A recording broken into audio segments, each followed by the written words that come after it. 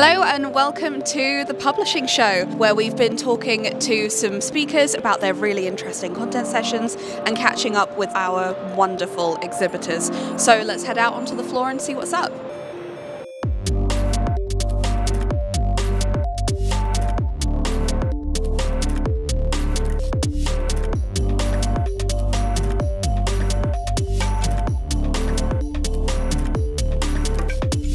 Yeah, it looks really good. It seems really busy.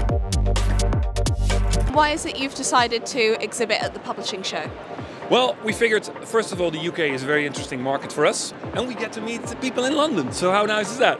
For me, it's all about innovation. So, I love to know what other people are doing to innovate across their sites, across the platform, across the digital publishing industry as well. We, we thought that it would be a good opportunity uh, to showcase what we do and how we can help them. I think it's really important to be able to report on our own learnings and kind of the process we've gone through to enable and kind of help other publishers, especially smaller ones and new scientists. So a key part of that is obviously sharing our learnings in kind of that process so other people can emulate it if they want.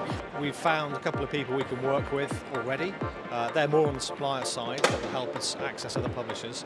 Uh, but generally speaking, we speak to senior level uh, publisher um, individuals who have a, an interest in what we do, uh, which is why we're here. Hi, uh, so I'm going to be speaking about um, how to create expert communities online. I mean, it's about sharing knowledge, so um, I, I think share the wealth basically. Looking forward to, to these next couple of days. So far, so good.